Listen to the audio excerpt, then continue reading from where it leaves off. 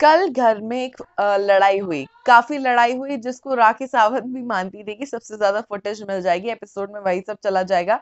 और कहीं ना कहीं कैमरा से बिग बॉस से रिक्वेस्ट करती हुई नज़र आ रही थी कि मुझे भी दिखा देना।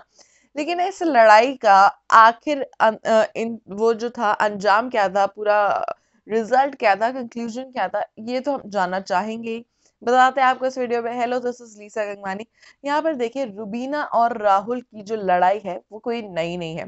पहली बार नहीं हो रही है और ना ही इनके डिफरेंसेस ऐसा है कि किसी को नहीं पता हो। लेकिन डिफरेंसेस स्टार्ट कहाँ हुए, कहाँ से हुए थे, ये कोई भी नहीं जानता है। चलिए, वो पुरानी बातें रह गई बिसुरी बातें रह गई। तो यहाँ पर राहुल वैद्य जब घर के अंदर एंटर करके आए हैं तो बार बार एक चीज़ बोलते हुए नज़र आ रहा है कि मैं रुबीना को रिस्पेक्ट करना चाहता हूँ। मैं रुबीना के साथ थोड़ा सा रिस्पेक्टफुल रहना चाहता हूँ। ऐसे में उन्होंने रुबीना को नॉमिनेट कर दिया। वो भी बहुत ही लेम रीजन देते हुए कि यहाँ पर रुबीना जो है ना, वो मुझको लगता है कि अभिनव के साथ साथ में नॉमिनेशन में आनी चाहिए और इन दोनों के बीच में से जो होगा वो देखना चाहिए।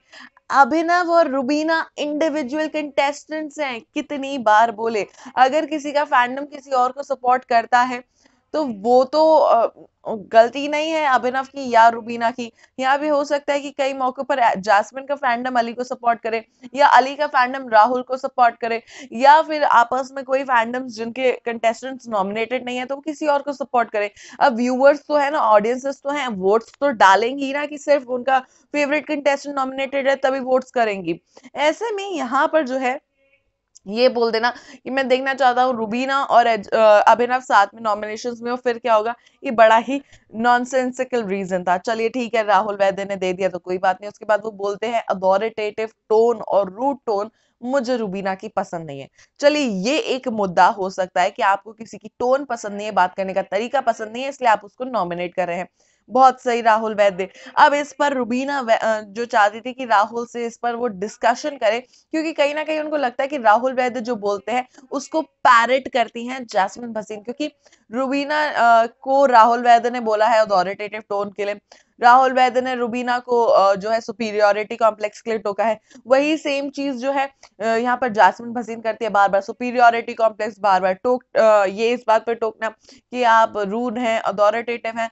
तो यहाँ पर रुबीना ने कहा, चलो for once and for all I want to clear this with Rahul Vaid and with every housemate कि कोई भी प्री कंसीव्ड नोशन ना रखे कि मैं अथॉरिटेटिव हूँ या रूड हूँ। क्योंकि लड़ाई में जो टोन निकलती है that is not the person वो सिर्फ़ एक पर्सन का साइड होता है, लेकिन एक्चुअल साइड तो एक्चुअल पर्सन तो वो होता है ना, जो वो पूरे टाइम रहता है। तो यहाँ पर रुबीना वही समझाने की कोशिश कर रही थी राहुल को कि मेरी अथॉरिटेटिव टोन अगर निकलती है, मैं रूड होती हूँ तो हर इंसान रूड हो जाता है लड़ाई के दौरान। कोई लड़ाई प्यार से नहीं करेगा। They become rude because they are angry लेकिन वो ज़रूरी नहीं है कि वही इंसान की एक्चुअल पर्सनैलिटी हो। एक्चुअल पर्सनैलिटी बोलचाल के तरीका टोन वो होती है जो मैं रेगुलरली रखती हूँ। क्या रेगुलर टोन में मैं आपको रूड नज़र आई? तो यहाँ पर राहुल वैद्य कहते नहीं तो मैं मैं तो लड़ाई के हिसाब से आपसे बात करूँगा। तो यहाँ पर लड़ाई के हिसाब से रुबीना का यही पॉइंट था कि सभी रूड हो जाते हैं। चलिए ये भी हो गया। लेकिन ये लड़ाई जो थी, फिर थमने का नाम नहीं ले रही थी, क्योंकि कोई भी एक्सेप्ट नहीं कर रहा था कि उनमें फ्लॉ हो सकता है। तो यहाँ पर जासमिन भसीन भी टूट पड़ती है लड़ाई में। सुपीरियोरिटी कॉम्प्लेक्स एक और बार गिनवा के चली जाती है रुबीना का, क्योंकि रुबीना कहते हैं, मैं किसी और के हिसाब से अपने आप को चेंज नहीं करूँगी। तो वो करना भी नहीं चाहिए। You are grown ups you have made a personality of your own over the years ऐसे में आप पंद्रह दिन से पुराने दोस्त से मिले या फिर एक पंद्रह दिन पुराने कॉम्पिटिटर से मिलकर आप अपनी पर्सनैलिटी क्यों चेंज करेंगे?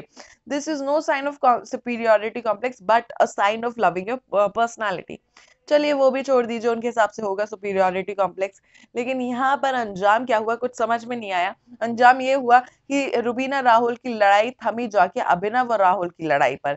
लेकिन आपके हिसाब से कौन था सही, कौन था गलत, आप ज़रूर लिखकर बताइए कमेंट सेक्शन में। साथ ही हमारा चैनल देखते रहिए, क्योंकि ऐसी खबरें, ऐसी एक्सक्लूसिव न्यूज़ हम आप तक हमेशा पहुंचाते रहेंगे।